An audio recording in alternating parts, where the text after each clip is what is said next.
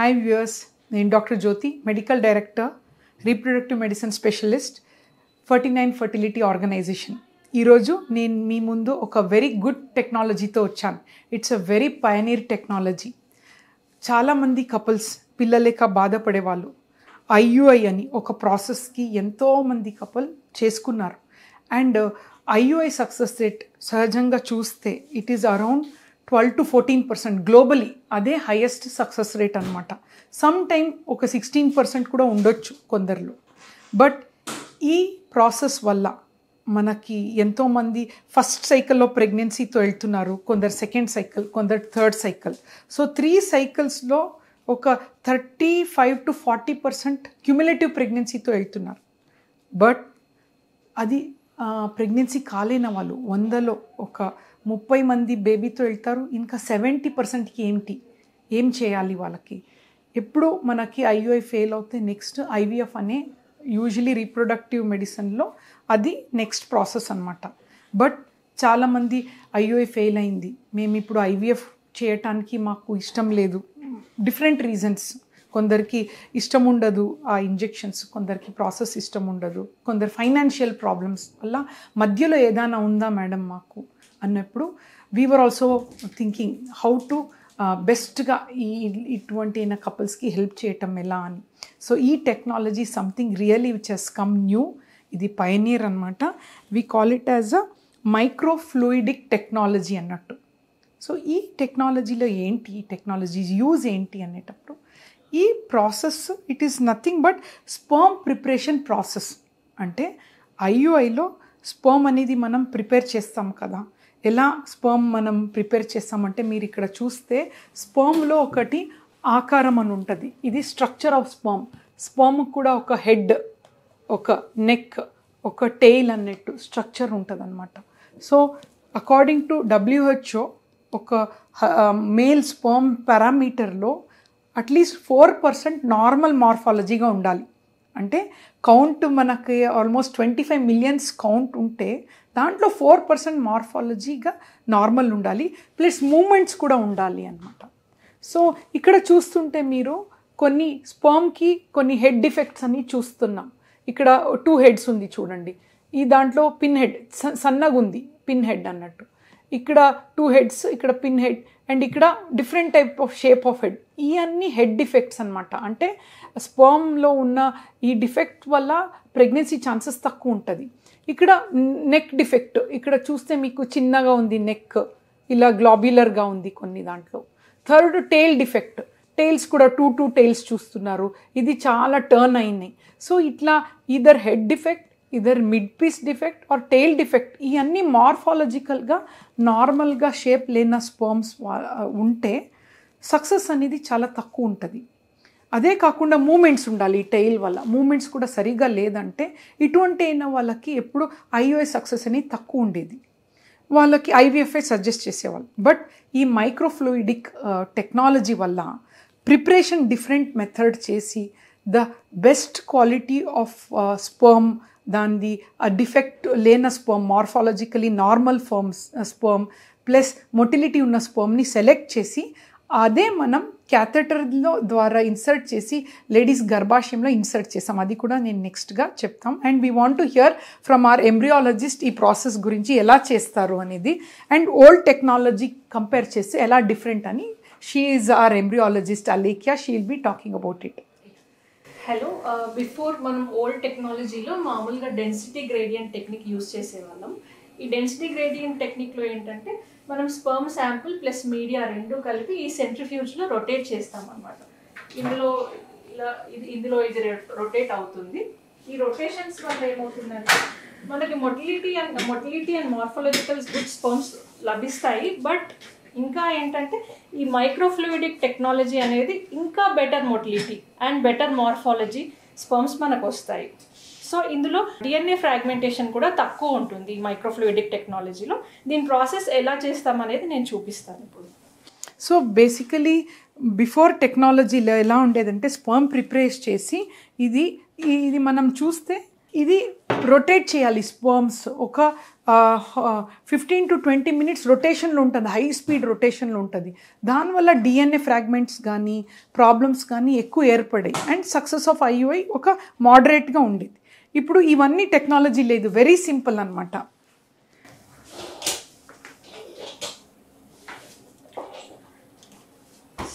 So మీరు ఇక్కడ చూస్తుంటే యా. సో ఇది మైక్రోఫ్లూయిడిక్స్ స్పర్మ్ డివైస్ టెక్ ఇది తీసుకున్న తర్వాత దీనికి ఒక inlet port and outlet port ఉంటుంది.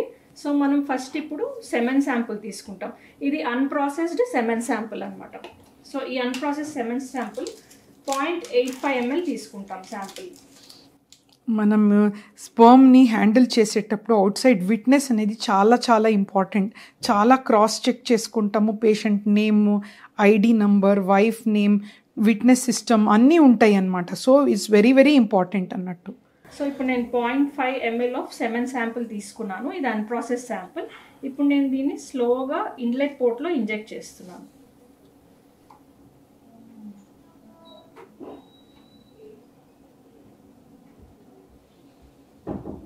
చూడండి శాంపుల్ అవుట్లెట్ పోర్ట్కి ట్రావెల్ అవుతుంది.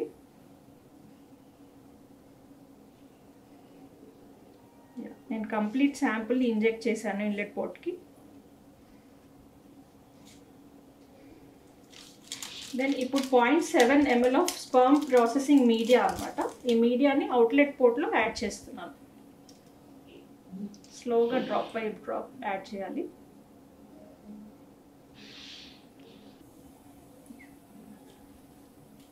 So it is very simple technique ఇది చాలా సింపుల్ టెక్నిక్ ఇప్పుడు దీన్ని థర్టీ సెవెన్ డిగ్రీస్లో మనం twenty five to thirty minutes వరకు ఇంక్యుబేట్ చేయాలన్నమాట. దీన్ని నేను ఇంక్యుబేటర్లో పెట్టేస్తున్నాను.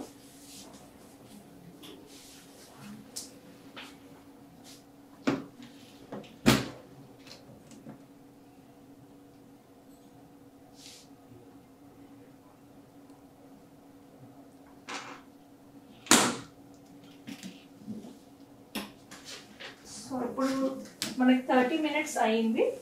So thirty minutes incubation time తర్వాత దీని ఫస్ట్ స్పర్మ్ ప్రిపరేషన్ డివైస్ని తీసుకొని ఇప్పుడు ఈ శాంపుల్ని కలెక్ట్ చేస్తాను సో వాట్ హ్యాపెండ్ ఇన్ ఈ థర్టీ మినిట్స్లో ఈ ఇంక్యుబేటర్లో ప్రాసెస్ ఎలా ఉంటుందంటే ఈ ఏదైతే స్పర్మ్ ఈ మైక్రోఫ్లూయిడిక్ వల్ల సెలెక్ట్ అయిందో అది న్యాచురలీ మోర్ మిమికింగ్ నేచర్ అనమాట naturally selected sperm compare to before technology దీంట్లో మనకి మొటిలిటీ హై ఉన్న స్పోమ్స్ ఎక్కువ సెలెక్ట్ అవుతుంది.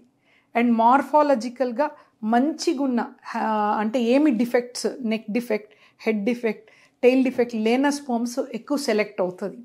ఆ స్పోమ్ని మనము ఎంబ్రియాలజిస్ట్ ఏం చేస్తారంటే దీన్ని మన లోడ్ చేస్తారు. She will show the loading also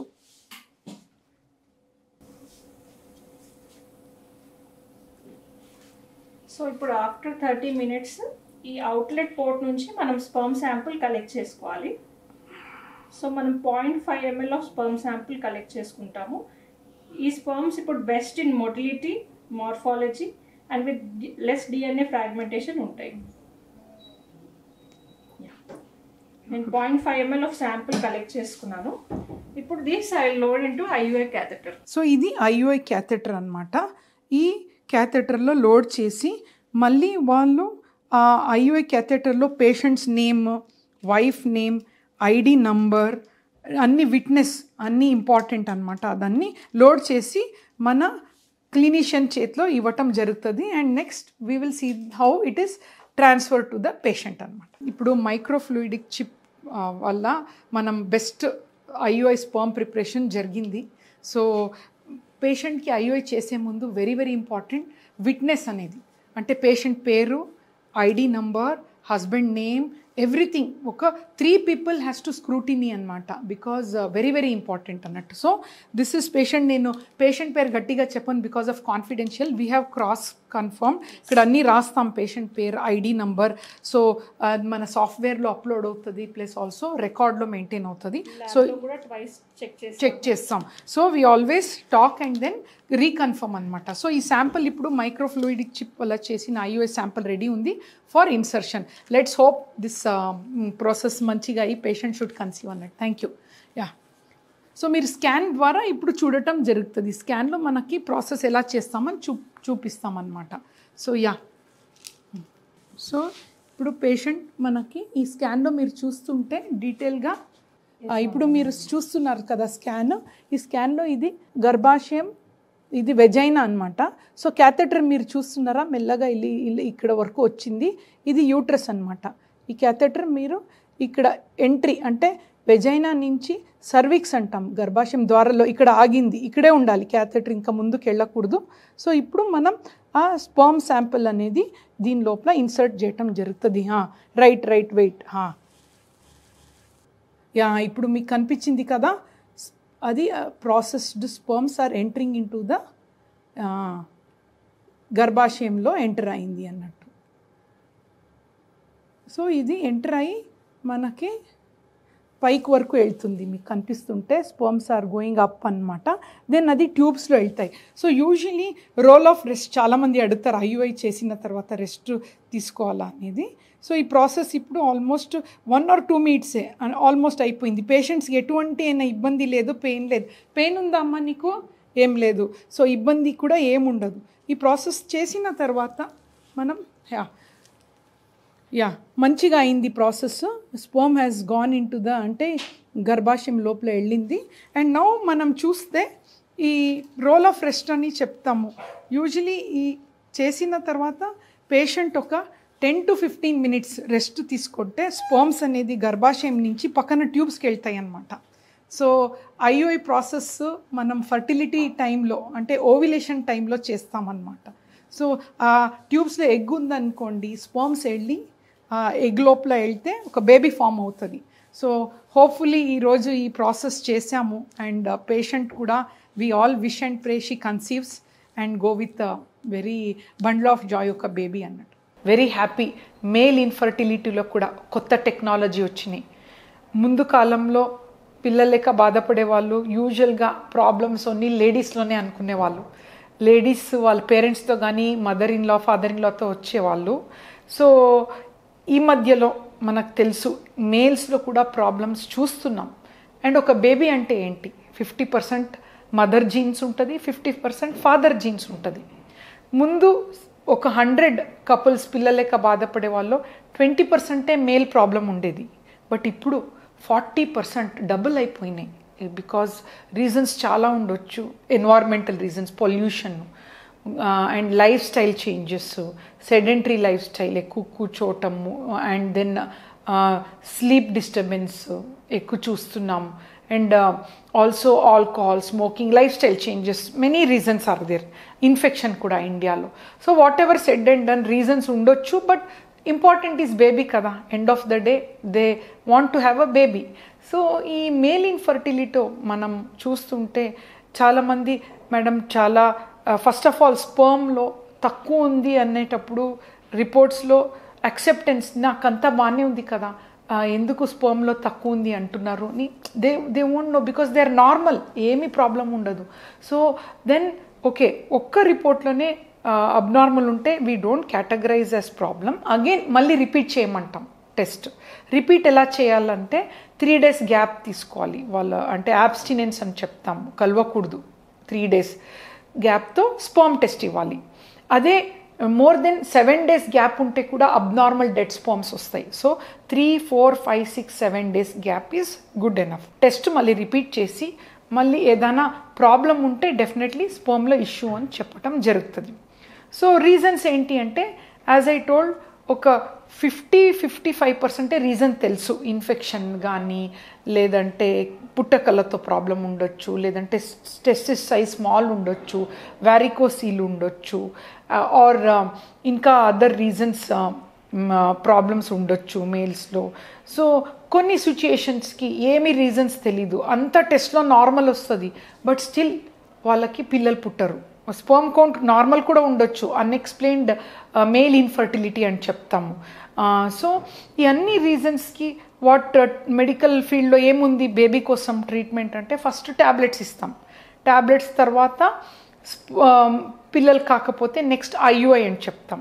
so IUI అని చెప్పేటప్పుడు one or two or three cycles చేస్తారు. యూజువలీ పిల్లలేక బాధపడే వాళ్ళకి ఈ ఐయుఐ అనేది కామన్ ప్రొసీజర్ అనమాట అందరికీ తెలుసు. ఇది uh, చాలా ఎకనామికల్ అండ్ ఆఫీస్ ప్రొసీజర్ ముందు ఈ ప్రాసెస్లో ఒక వేరే స్పర్మ్ని ప్రిపే స్పర్మ్ని కూడా ప్రిపేర్ చేయాలి కదా. హస్బెండ్ స్పర్మ్ ఇస్తారు. అన్ని బ్యాడ్ పస్ సెల్స్ అన్నీ తీసేసి బెస్ట్ స్పర్మ్ని ఐయుఐలో తీసుకోవాలి. ముందు technique was different. Sperm preparation అది సెంట్రిఫ్యూజ్ అయ్యి అన్ని. బట్ ఇప్పుడు ఒక కొత్త టెక్నాలజీ. అంటే మైక్రోఫ్లూయిడిక్ అని. See this is very nice technology three IUI fail అయిన వాళ్ళకి లేదంటే ఈవెన్ ఐవీఎఫ్ చేసుకున్న వాళ్ళకి ఎవరికి అవసరం అంటే ఇది టెక్నాలజీ మొటిలిటీ తక్కువ ఉన్న వాళ్ళ స్పోమ్లో మూమెంట్స్ తక్కువ ఉన్న వాళ్ళకి. అండ్ మార్ఫాలజీ కూడా అబ్నార్మల్ స్పోమ్స్ ఉంటే ఇది యూజ్ చేస్తాము. అండ్ ఆల్సో డిఎన్ఏ ఫ్రాగ్మెంటేషన్ ఎక్కువ ఉన్న వాళ్ళకి ఈ ప్రాసెస్ ద్వారా ఏం చేస్తారంటే ఇది చిన్న ఒక చిప్ ఉంటుంది అనమాట ప్రాసెస్ ఈ స్ట్రెస్ ఏమి ఉండదు స్పోమ్కి రా ఇన్లెట్ ఉంటుంది. ఇక్కడ ఇన్లెట్లో హస్బెండ్ స్పోమ్ని ప్రాసెస్ పెడతాం అన్నట్టు రా స్పోమ్ శాంపుల్. ఒక థర్టీ మినిట్స్ ఇంక్యుబేటర్లో పెడితే ఈ మైక్రోఫ్లూయిడిక్ టెక్నాలజీ వల్ల అవుట్లెట్లో ఏమవుతుందంటే మంచి మొటిలిటీ ఉన్న స్పోమ్స్ మంచి మార్ఫాలజీ ఉన్న sperm and also DNA fragmentation తక్కువ ఉన్న స్పర్మ్ని మనం అవుట్లెట్లో దొరుకుతుంది అనమాట సో ఐయుఐ అవసరం ఉన్న వాళ్ళకి మనం ఈ క్యాథెటర్ ద్వారా ప్రాసెస్ చేసి ఆ స్పర్మ్ని అవుట్లెట్ నుంచి తీసుకొని ఈ క్యాథెటర్ ద్వారా ఇన్సర్ట్ చేసి లేడీస్ గర్భాశయంలో ఇన్సర్ట్ చేస్తాం ఐయుఐ సక్సెస్ డెఫినెట్లీ ఇంప్రూవ్స్ అనమాట అదే చాలా ఐయుఐ ఫెయిల్ అయిందో లేదంటే ట్యూబ్స్లో ప్రాబ్లం ఉందో ఐవీఎఫ్ అవసరం ఉన్న వాళ్ళకి అదే ప్రాసెస్ స్పర్మ్స్ బెస్ట్ క్వాలిటీని తీసి ఎగ్ లోపల వేస్తామన్నమాట. బేబీ ఫామ్ అయిన బేబీని గర్భాశయంలో ఇన్సర్ట్ చేస్తాం. సో ఇది microfluidic technology very advanced. And we're very happy. Women's day సందర్భంగా ఇది లాంచ్ చేస్తున్నాం. అన్ని forty nine centres all seventy సెంటర్స్లో అవైలబుల్ ఉంటుంది. అండ్ ఈ టెక్నాలజీతో పాటు ఇంకొక very beautiful technology is MACS. MACS అంటే magnetic assorted activated sperm sorter అన్నట్టు. మ్యాక్ సో మ్యాగ్నెటిక్ అంటే ఇక్కడ మీరు గమనిస్తే ఇది దిస్ మ్యాగ్నెటిక్ టెక్నాలజీ సో దీంట్లో ఏముంటుందంటే మ్యాగ్నెటిక్ బీడ్స్ ఉంటాయి అన్నమాట ఇది ఒక ఫీల్డ్లో స్పర్మ్ని మనం ఇలా రా స్పర్మ్ పెడితే ఈ బీడ్స్ వల్ల ఏమవుతుందంటే ఒక జాలి అన్నట్టు మెష్ అన్నట్టు అబ్నార్మల్ స్పర్మ్స్ అన్నీ పైకి ఫిల్టర్ అవుతుంది పైన ఉండిపోతుంది. Best process sperms DNA fragment లేని స్పర్మ్స్ అన్నీ ఇలా మెల్లమెల్లగా ట్రికిల్ అయి కలెక్ట్ అవుతుంది. ఒక థర్టీ మినిట్స్ ప్రాసెస్ చేసిన తర్వాత ఇక్కడ డిఎన్ఏ ఫ్రాగ్మెంటేషన్ లేని స్పర్మ్స్ని రెడీ అవుతుంది అన్నట్టు ఈ స్పర్మ్స్ ఏదైతే మనం తీసుకొని ఐవీఎఫ్ ఇక్సీకి యూజ్ చేస్తే డిఎన్ఏ ఫ్రాగ్మెంటేషన్ లేని స్పర్మ్స్ ఇవి. సో ఇంప్లాంటేషన్ ప్రాబ్లమ్స్ వాళ్ళకి రికరెంట్ ఇంప్లాంటేషన్ రికరెంట్ అబార్షన్స్ ఉన్న ప్రాబ్లమ్స్ ఉంటే తర్వాత డిఎన్ఏ ఫ్రాగ్మెంట్స్ ఎక్కువ ఉన్న వాళ్ళకి వెరీ వెరీ గుడ్ టెక్నాలజీ అనమాట సో ఇది కూడా మేము ఉమెన్స్ డేలో చేస్తున్నాం. అండ్ ఆల్ దీస్ ఆల్సో ఈ టెక్నాలజీ అందరికీ అవసరం ఉండదు. ఓన్లీ స్పోమ్లో ఇష్యూ ఉన్న వాళ్ళకి అవసరం ఉంటుంది. అండ్ ఉమెన్స్ డే సందర్భంగా ఈ టెక్నాలజీలో కూడా మేము ఫిఫ్టీ పర్సెంట్ డిస్కౌంట్ చేసి చేయాలి. చాలామంది పిల్లలేక బాధపడే వాళ్ళు బేబీతో వెళ్ళాలని or single intention so let's wish and hope many more couples పిల్లలేక బాధపడే వాళ్ళు బేబీతో వెళ్ళాలని థ్యాంక్ యూ